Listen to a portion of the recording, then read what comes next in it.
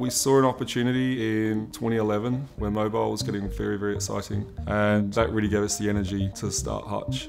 We are a mobile studio based in London, and a lot of the people in the studio are petrol heads. All they do is talk about cars, so we're wholly focused on racing games.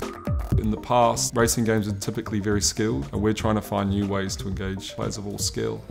All our games come from gut instinct, so we do a lot of concepting and prototyping with the game teams. But the mission is to get that game into players' hands as quickly as possible.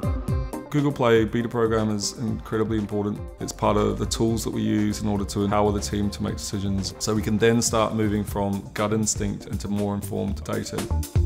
Google Play allows you to go through beta to your soft launch, right through to global launch, constantly getting feedback from users, and this allows us to look at real data and make the best possible game for our players. During the soft launch period of MMX Hill Climb, we were able to utilise store listing experiments to test different icon colours, and we found the best possible icon gave a 20% boost to click-throughs in the Play Store. MMX Hill Climb is a traditional casual racing game. It has fantastic social features and one of the things we found through the A-B testing is the harder we made it at certain points, the better it retained.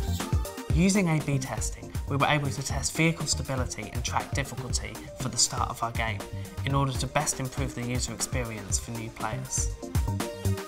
In one particular example, we looked at the difficulty of a particular level. We found this particular level took over 60 attempts, which was many more than other levels in the game. So this allowed us to focus on making this level less challenging for the particular point in the game at where it was.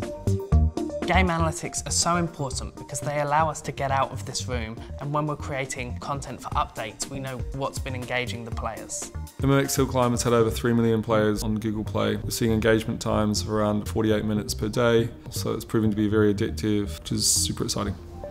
Using reviews can show us problems that might not necessarily be clear in the analytics.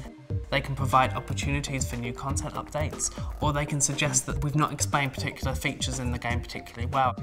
Analytics is incredibly important to us. We've been able to improve our first time user experience on past games and increase our LTV by two times. Each year we entertain over 10 million new players on Google Play. We've seen revenues increase in the last four years by three times and engagement is going up and up and up. In the long term, we're really focused on making the best place for developers to work to make the best games. We're trying to create the studio of dreams.